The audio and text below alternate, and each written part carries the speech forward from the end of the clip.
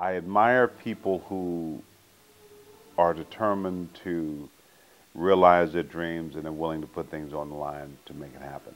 And so it's hard for me not. It's hard for me, and I think it's hard for most people to say no to someone who's really trying to do something.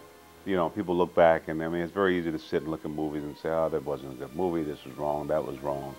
But you, you don't realize that there are people who are putting everything on the line to make it happen. And they're doing the best work they can. Whether you like it, don't like it, you have to admire the fact that they're willing to do it. And anybody who's not willing to pay that price, to me, you don't really have a whole lot to say.